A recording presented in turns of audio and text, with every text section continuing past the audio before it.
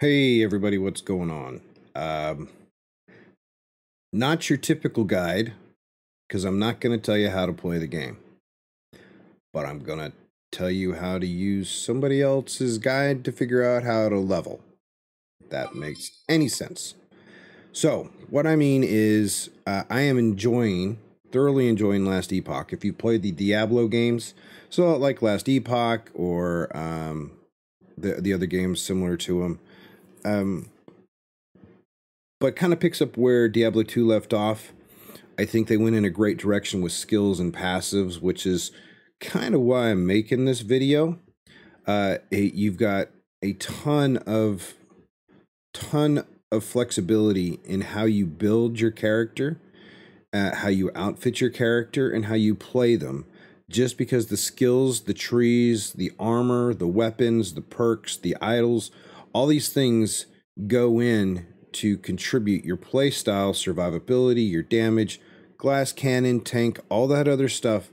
There are so many possibilities and combinations that you really do need to spend a little time um, maybe watching some videos from people such as Moxsy or Rhykker, and there's a few others out there, um, or even hanging out in their streams to figure out what class does what you can come to Maxroll GG. They've got a good list and a good breakdown of the of the of the, the the the classes and the builds that are easy enough to understand. You can get a general idea of what you're doing.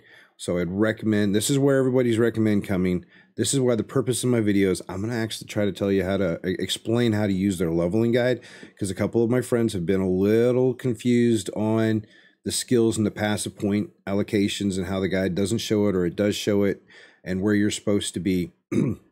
But what I would recommend if you're new to Last Epoch, just take take 20, 30 minutes, come down here, read about the passives, read about the gear walkthrough, read about the crafting. Don't worry about crafting till later in the game. I'm going to tell you right now. Crafting is going to be big for your wins in endgame for min maxing and all that other stuff. The crafting system is not overly complicated. It's not simple either, but you can figure it out after you've used it enough. But I'm not going to work on that one, but you can read about. Uh, loot filter is the same thing. You can make a loot filter so it only shows stuff that you're interested in once you understand the gear you need, or you just copy paste somebody's from a leveling guide or from a build guide. Uh, factions, um, there's two factions in the game. Just to explain those real quick, you have Circle of Fortune, which if you select that one, that means you're going to have a higher drop rate, better drop rate, better drops kind of a thing. Merchants Guild, it's going to let you do interactions with auctions and, and selling and buying, selling and buying kind of thing. But the biggest thing to remember is if you played for a while as Circle of Fortune, you decide to switch to merchants, which you can switch back and forth between. When you switch to merchants, you cannot use any of the gear you've got you obtained while you were Circle of Fortune, and vice versa. They don't intermix. They they don't uh, swap out. You have to have sets. You can carry them in your inventory. You can carry them in your vault or your chest or stash, whatever you want to call it. But you, if you're a merchant, you have to have merchant. If you're Circle of Fortune, you have to have Circle of Fortune. If I'm a Circle of Fortune, I can't have both Circle of Fortune and Merchant Gear. It doesn't work that way. So just remember that. uh, you can go through again, read all these stuff, the end game, how to do the power in min maxing using idols, gear perks, crafting, and all that other stuff. For this, though, we are going to focus on build guides. Now, if you're not sure what you want to play, here's the tier list. And I can't tell you which the best one is. If you're just speed farming, there's one set of S tiers. If you're leveling, you just want to get a bunch of levels out there. There's another one. Just remember, you cannot change your mastery. Uh, it's the only thing in the game you cannot respec. Once you choose your mastery, you can't change it. Okay, and you're going to find out about masteries in just a minute. But there's corruption tier list um, for when you get to the super end game. Uh, there's boss killing. You might have speed farming for lots of ads. Not so great at a single single single damage target, uh, or a Hammerdin for paladins. Amazing AOE, amazing ad clear. A little bit lower on the DPS for for boss fights. Um, so you're going to really have to work on getting your gear in order to be able to do a lot of the bigger big boss fights efficiently. Um, but that's where those are at. We're going to go to the build guide and as you can tell, they have a Sentinel, which is like your sword and board, your tank kind of a build, wears plate and armor and everything else uh, kind of builds. Uh, there's three masteries from Paladin, Forge Guard, and Void Knight. Um, think uh, Holy, think Tank, think uh, Death Knight, kind of ish, sort of. And then you have your rogues, you have your masteries here, you have your basic, you have your marksman, your blade dancer, and your falconeer. The marksman's going to be more single shot, kind of heavy ish. I haven't played it, so I can't really speak to Blade Dancer's more like your assassin. Your Falconeer is more of your ranger. Okay, mages have a similar setup. You have the different masteries here: Sorcerer, Spellblade, and Rune Master. I have played the the Rune Master, which is a lot of fun. It's an Elementalist, lots of damage, mid range, it's a little bit farther range. Spellblade is your uh, more like a battle mage, where they're melee and spells mixed together. I'm looking to play that one next. You have your Primalist, which are your druid classes and beastmasters and stuff, and your acolytes, which are your liches, your necromancers, your warlocks, uh, kind of a kind of a build thing. So you have a lot of options, and now you're coming to this page and you're like, okay, and you're like, okay, Sentinel, Rogue, Mage, Primalist, Acolyte. What am I going to play? And you're like, I'm going to play a Rogue. Okay, cool. You click on Rogue. You're like, okay, I've got a level of Rogue. Uh, you kind of did a little bit of reading, so you know what the breakdowns are. You know, I'm going to be a blade dancer. Let's say I'm going to be a blade dancer later in the game. I want this character. They're going to mastery blade dancer at level 20, 20 to 22. You can unlock mastery at 20, depending on where you are in the campaign, and then you can go from there, right? Uh, so I'm going to be a blade dancer, and as you can see, there's three blade dancer builds. You're like, all right, what am I supposed to do here? Now you can click on Endgame and it's going to show you the two recommended end game builds. But if you're leveling and you're just starting out and you need help through, this is where it is. You're just going to click on leveling, and all of a sudden, okay, I'm a Blade Dancer. This is my Blade Dancer leveling guide. This is the one that Max GG's put out. They have different um, people that have wrote it. Uh, looks like Tarek is the one that made this one. So this is if you've been to Max GG, Maxroll GG before, um, this is pretty traditional for what they have. Um, it's it's you know I like Maxroll. There's Icy Veins and a few others that do things. Maxroll seems to be the one that is um, pretty much on fire for this. A lot of the streamers are the ones recommending it.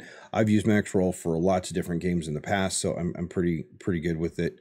Um, so you come in here and you can see they got a good table of contents that walks you through what you need to do, give you a general idea of what the gameplay style is, what a blade dancer is uh, keynotes for the leveling, kind of things you want to focus on. They give you basic videos on maybe the content, the, the, the DPS rotations as you get higher in levels.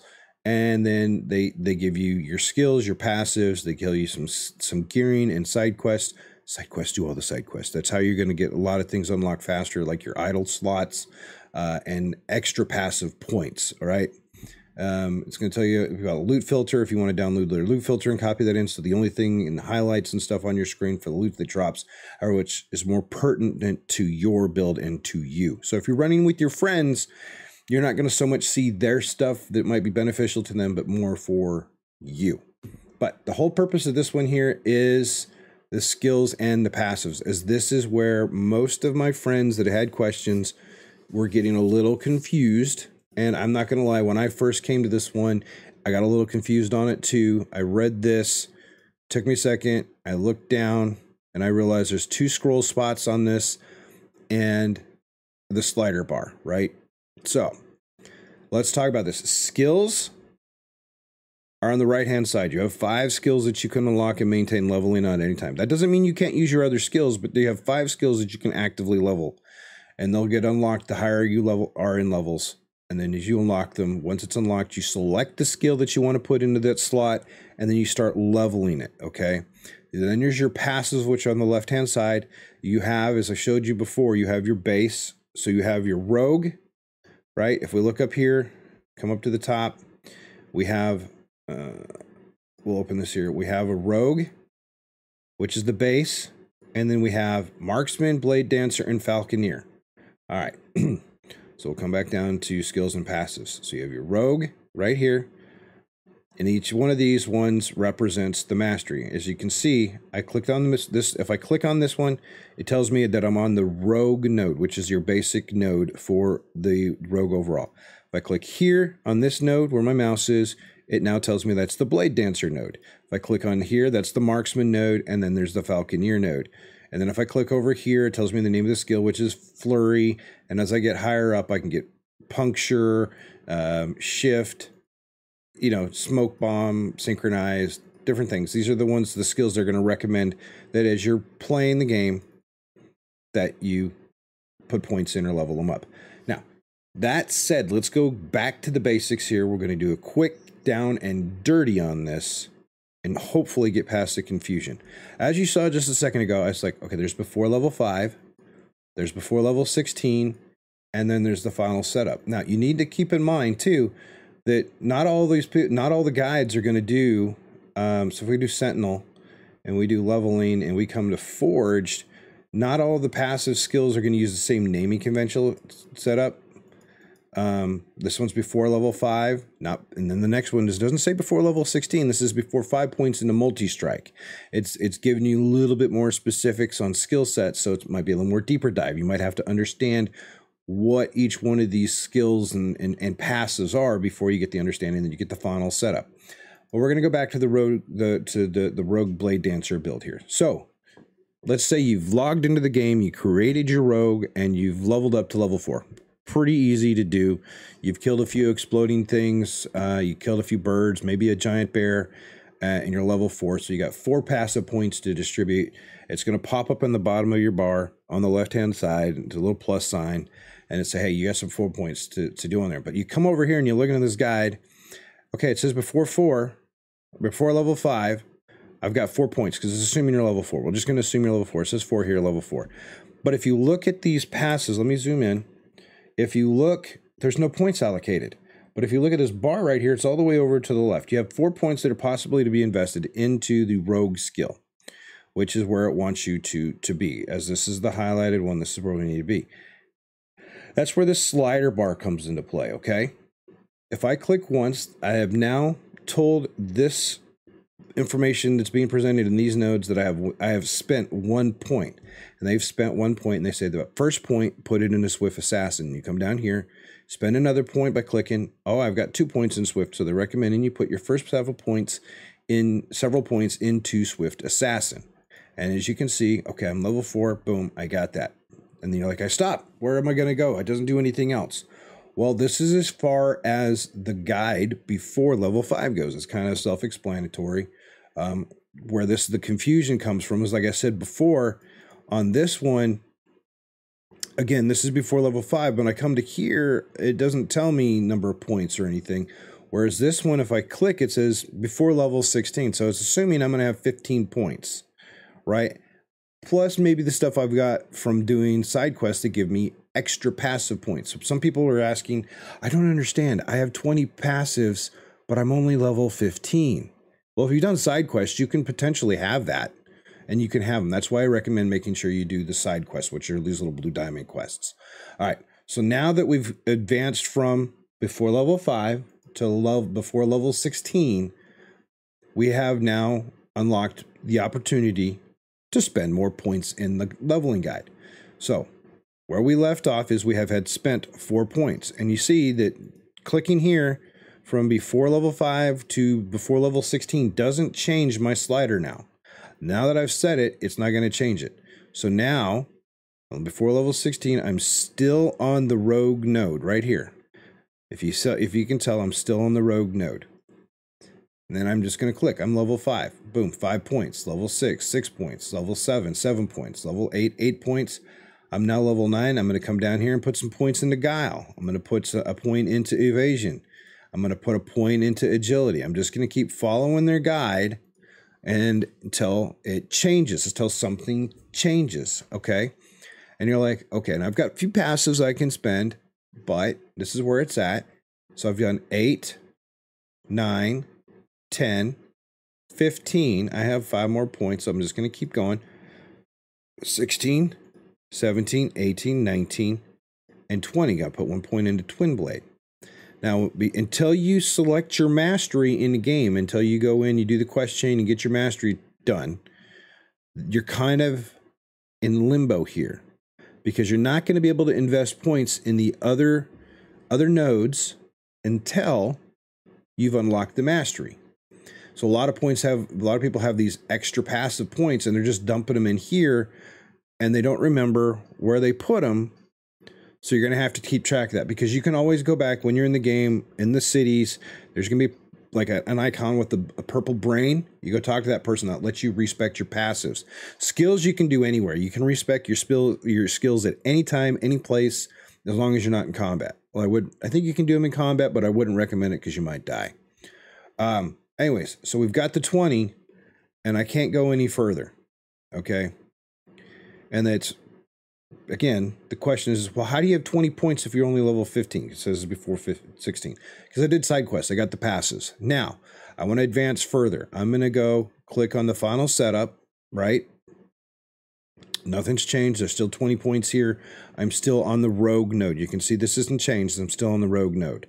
I have chosen to be a blade dancer as my mastery. Okay. So now I'm going to, then I'm level 16, I'm going to come over here and you can see, or 20, I think is where it has to happen. It's going to allow me to go to the Blade Dancer now, right? I've chosen that as my mastery and I'm just going to start dropping points into whatever they recommend. The first point into Blade Dancer is going to be uh, Pursuit, right? And I'm just going to keep going. Four points into Pursuit, five. And then you see how there's five of eight? Sometimes people just I'm just going to dump all of them in there. No, no, there, they have certain numbers in the build guides. So you just follow the build guides. Again, you don't have to stick to them if you don't want to. There's lots of trees, lots of fun to do uh, is is um is a build. In when I'm playing on my Sentinel on my Paladin, I chose Lunge. They didn't recommend doing much points into spite uh, a smite, but I liked it because I would leap forward, I could get health, and I could just do lightning, just tons of it. So I enjoyed a smite build, which wasn't in the leveling guide. So just keep that in mind is you don't have to, they're more like a, Barbossa said it's more like a set of guidelines, right? You know, um, it's not rules, it's more like guidelines. This is what this is a guideline.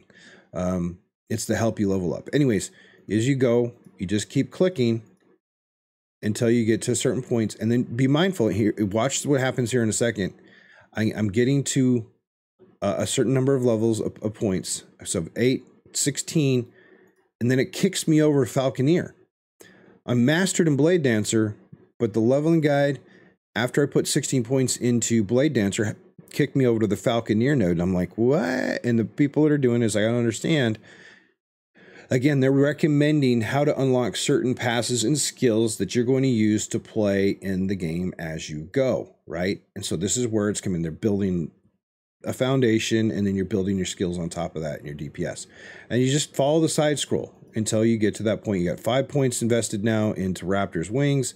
I click again. Now I'm getting points into Wilderness Scout and this is about DPS survivability kind of a thing. And you follow this, and a lot of times, if if you go do your own thing, you're going to be like a glass cannon, do tons of damage, but you get hit once or twice and you're dead. So they're trying to balance it out, and what's a lot of these guides are doing, are trying to balance it that way. Anyways, you keep doing the points, and as you can see now, I clicked on this bar down here to do another point investment, see where it goes, and it pushed me right back to the Blade Dancer node, right where I left off. Now it's telling me to put a point in the Cloak of Shadows. It's going to keep through. It's going to tell me to put a point into sh- Shroud of uh, Dusk. Now remember, you see these little dots right here? This represents, uh, it's one dot. That means before I can come from, before I can go to Cloak of Shadows, before, the Shout of Dusk, I have to invest one point, one point into Cloak of Shadows, which lets me now go to the Dusk node. Okay, you see this node here isn't unlocked I can't do anything here. I can't put a point here. If I had it, I can't put a point in apostasy. Now, once I click on this and it shows that I've put a point in the Shroud of Dusk, I can now, because it's only one point requirement, go into either of these trees. That's how that point works. Less important on the passives, more important on the skills. But if you are respecing either one of them, remember, if you've got a point, say invested here, and you want to get rid of Cloak of Shadows, you can't do that because if you don't have Cloak of Shadows, you don't have Shroud of Dusk. So you've got to keep that in mind, okay? So you're just going to come through, you keep following the guides until all the points are spent in the passives, and you're pretty much ready to go. Now, all the points have been spent. That's fantastic. Those are passives. You notice I've done across the scroll bar here. My passes have been done. They haven't gone into skills, which are what you use in combat. Passes are always running, they're always in the background, and passes unlock some of your skills. Some skills you have base, some of the skills you have to unlock via the passive. And you'll notice here, uh, before level five, you only have one skill that's unlocked that can be leveled up. You have other skills you can use, but there's only one skill that can be unlocked and leveled up. And then at 16, and it, it goes up from there. You as you level up, you unlock these skill nodes. Now these work on the same same premise as the sliding bar, just like with the passives. You're going to put in here, you're going to click on this, this one is unlocked and it's going to be empty. You click on it and you go to skill tree and then you can select the one that they want you to level up or recommend you level up. In this case, it's Umbral Blades. So I'm going to come in here, I click on it, there's going to be a little bar over here, a bunch of choices. I'm going to find Umbral Blades, click on it, and then it's going to take me to this, and it's going to associate it to that skill. Now I'm just going to say follow the same thing. I'm going to do one point into downfall. I'm going to do one point in the sword trigger. Now remember, just like I said before, I can't, uh, until I put a point into downfall, I can't put a point into sword tower, right? And so they're putting a point there. Just like over here, you can see right here, there's, maybe, maybe zoom in a little bit more. Yeah. there's four dots. That means that I have to put four of five points invested into Jagged Cravings if I or uh, four of five into Cut and Leave if I want to invest anything in Kunai Belt. Okay, if I don't, I, I, I won't be able to. Same if I want to avoid Twilight Assault, I need to have two of five into Jagged Cravings. Anyways, you got the salt thing selected. You're just going to keep following it. The 20 points. First one's going to go into downfall. next point's going to go into sword thrower, and then one into lethal darkness. I'm just following this around and, and, and following their instructions. You know, precision cuts.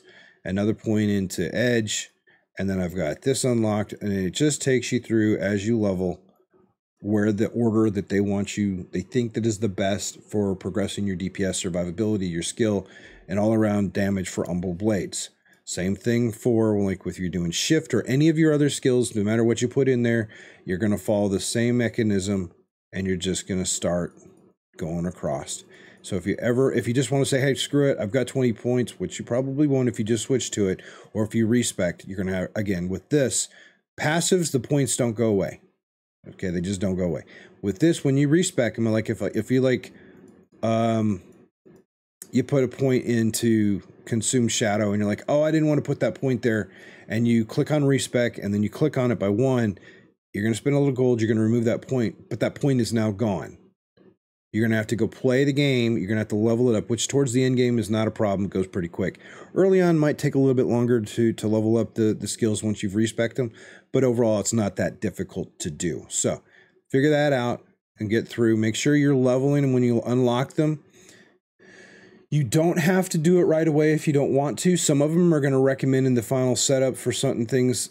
You might be level 35 or 40 and you're going to be on the setup because this one's only up to good to level 16 and then you switch over final setup and like, "Oh yeah, I don't I don't have these." Well, you haven't gotten all the points invested because you're not high enough level to have the points to go into Blade Dancer to unlock the skills.